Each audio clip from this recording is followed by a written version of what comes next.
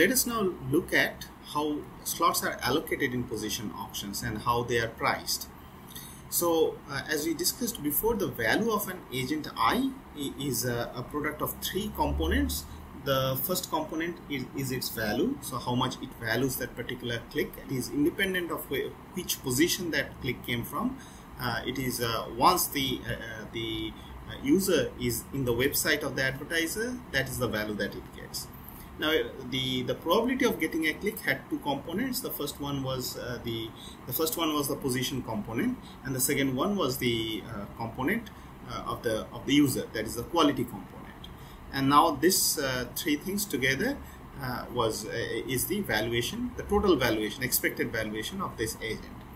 And from the point of view of the of the search engine or the publisher of this ad, this is uh, rho i component is estimated.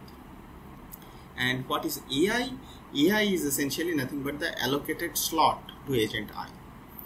So therefore the the complete allocation is given by this vector a, a which uh, gives the the corresponding slot. So a1 to an are the different slots that has been allocated to these different agents.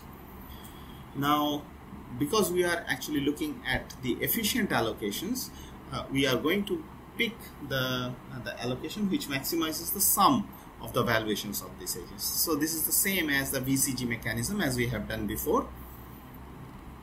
Now the claim is that if you are doing this kind of a allocation, um, the efficient allocation, uh, it is going to be efficient if and only if it is ranked by expected revenue mechanism. So um, we have already seen the expected uh, revenue. Expected revenue is going to be nothing but this uh, this total quantity. Because uh, this is the probability of getting a click and whenever that click happens this agent is going to um, give this value.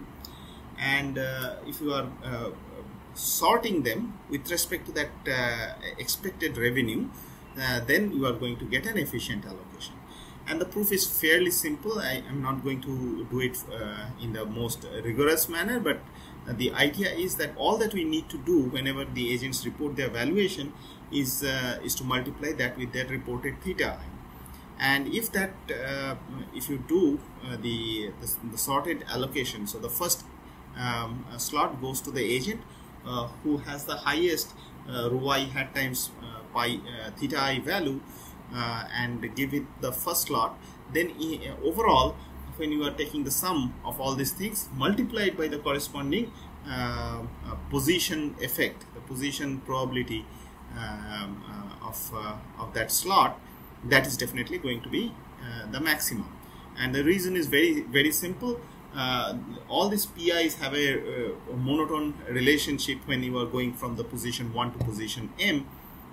And if you have a bunch of numbers, which are rho i hat times theta i, uh, how should we uh, uh, place them? We should start with the highest value highest value going to the highest position. Any other allocation of this these advertisers to those positions will automatically be suboptimal than that.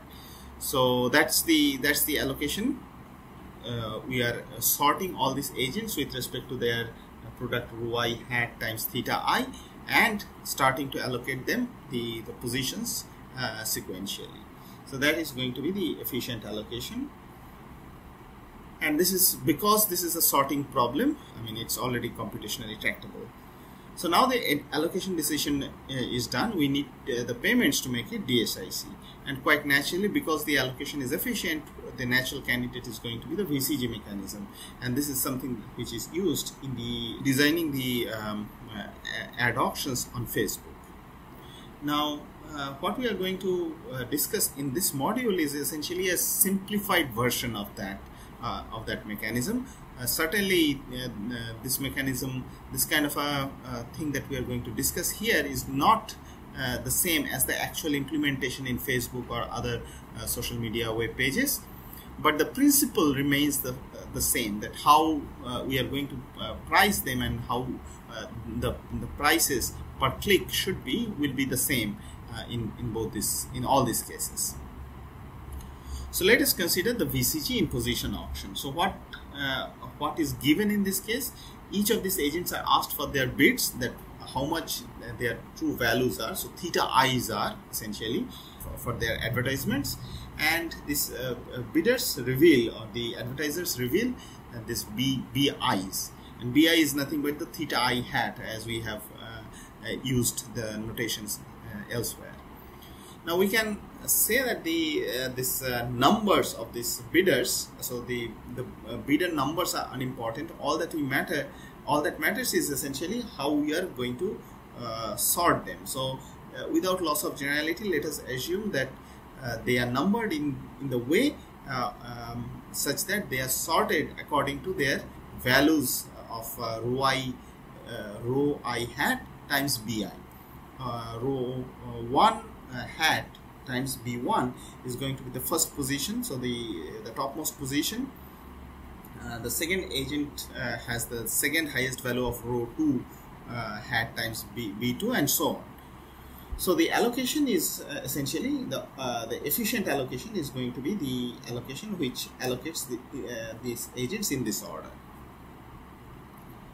so now what is uh, going, uh, what we are going to define is this a, uh, a minus i star. This is something that we will be requiring uh, whenever we are defining the VCG mechanism. Uh, if you are removing a specific agent, let's say agent i, then all the agents that were after that agent i, that is from i plus 1 to n, they now start getting one better slot because uh, the agents were sorted according to their rho i hat times uh, bi uh, so if agent i is not present now all the other agents uh, starting from i plus 1 to n they will now get allocated one slot above because that is now empty. So we can write down the the, uh, the pi vcg uh, the payment under this vcg mechanism in the following way. So as before we have all this j not equal to i's.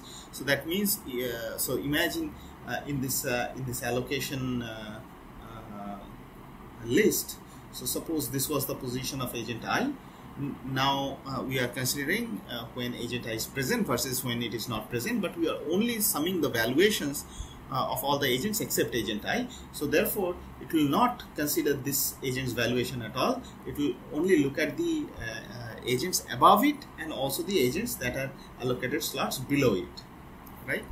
So um, now if we look at the the allocation where agent i is not present that means that all the uh, the uh, agents which were allocated after i they actually move one position above.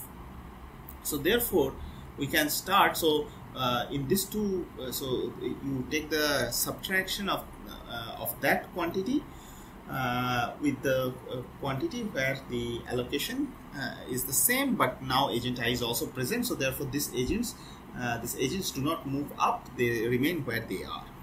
So uh, for all the agents that are above i they actually cancel out from both these sides. So we don't really need to look at them. So we'll have to start from agent i uh, will go up to n minus 1 so this is the uh, this is the place until which uh, agents have uh, some uh, some value. So we I mean this is just for a notational purpose because we are using this notation of j plus 1 um, so for the jth position or the ith position, starting from that ith position, um, uh, the the next set of agents who were one step later in the actual ordering of these agents, they now start getting this uh, the slot jth slot.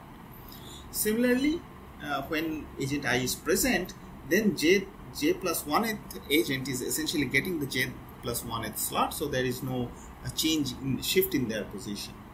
So this is this is the two terms. So all the other terms I essentially cancelled out. Now we can uh, compress these two uh, summations into one by writing this uh, this difference of the corresponding position effect multiplied by their uh, their valuation, their expected valuation. And of course, this is for all the agents up to n minus 1. The last agent in, in this list will always uh, have a zero payment. So if that agent is removed, the allocation of any of the other agents do not change. Um, so therefore, uh, both these things will essentially cancel out and they will have only zero. Now this is the total expected payment. So you can think of this as if the after observing that they have been clicked or not, Um, now this click is essentially a probabilistic event. So therefore, what the uh, uh, search engine or the uh, publisher can charge is for a specific click. It can it can charge just by dividing with the probability of that click. So pi times rho i hat is essentially the probability of getting a click for this agent i, which is at the ith position, and um, if uh, that that quantity uh, is in the denominator and the payment uh, that we have just discussed is in the numerator that is the, the, the payment that this agent makes for every click and that is how the uh, the VCG mechanism is actually implemented in the context of uh, um, sponsored search auctions.